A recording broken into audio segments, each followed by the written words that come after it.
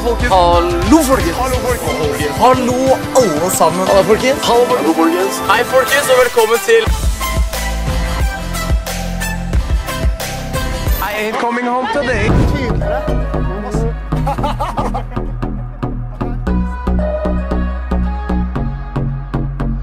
Dab.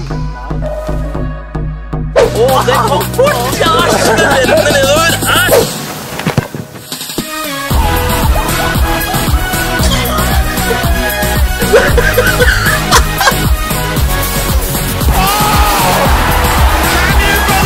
Du vet du kan hoppe? Du kan hoppe.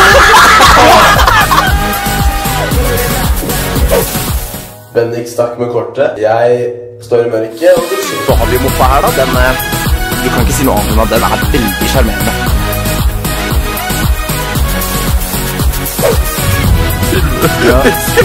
Nå er det et bakgrunn. Det står 23 av Går vi for høyre Jeg klarer ikke det her. Skal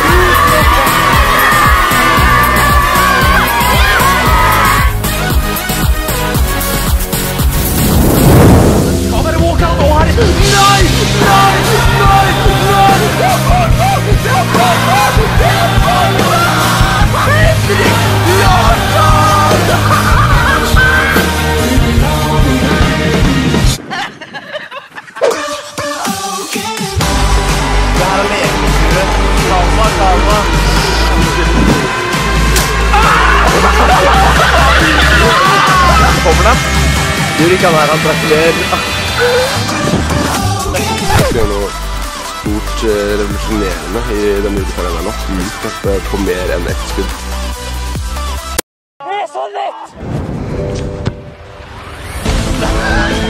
Det er vilt! Det er faktisk sjukt!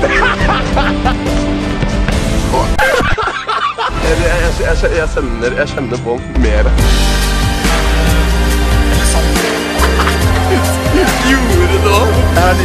Men det her er da Det her fungerer som en pute, det her. Og så er det under, det er altså dyna. Det er Nei!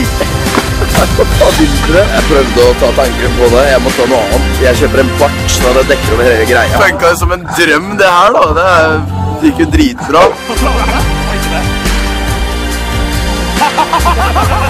Spørsmålet er, hva er det her for noe bæsj? Liksom, Åssen fjul er det som har driti på panser på det?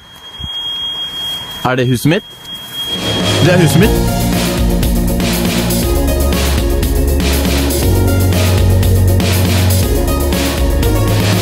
Det er vakkert. jeg har fått det.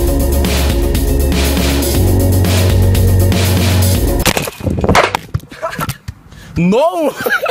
Tenk at den er håndfast! Sander Austad Dale kommer fra Skien og har drevet kanalen Randulle siden 2014.